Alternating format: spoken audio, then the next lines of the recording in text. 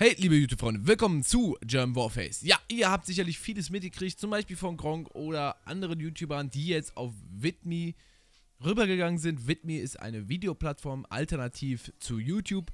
Dort werden viele YouTuber oder sind viele YouTuber hingegangen und laden ihre Videos dort hoch.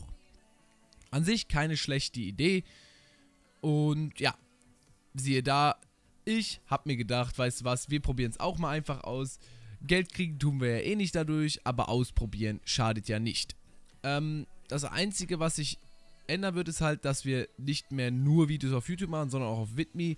Aber keine Sorge, die YouTube-Videos werden weiterhin dieselben sein, die auch auf Vidme kommen. Das heißt, die Videos zum Beispiel ähm, Warface, die ich ja hauptsächlich ja mache, wie ihr wisst, werden auf YouTube und auf Vidme hochgeladen.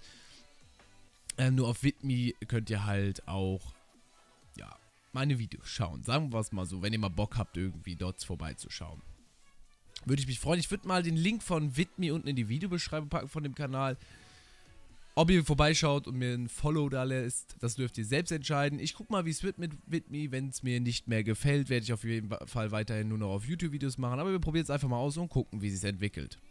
Ja, Leute, wenn es euch gefallen hat, lasst einen Daumen hoch da. Das wollte ich nochmal sagen. Wie gesagt, Vidme ist eine Alternative zu YouTube, die ich selber ausprobieren werde. Und ich würde mich freuen, wenn ihr auf dem Kanal mal vorbeischauen würdet auf Vidme. Werdet ihr erstmal nicht viel finden, da der ja noch ganz neu ist. Ich werde den Link mal in die Videobeschreibung packen und würde mich über eine große Anzahl an Zuschauern freuen. Wir sehen uns im nächsten Video. Bis zum nächsten Mal. Haut raus, euer Jumbo Face. Ciao.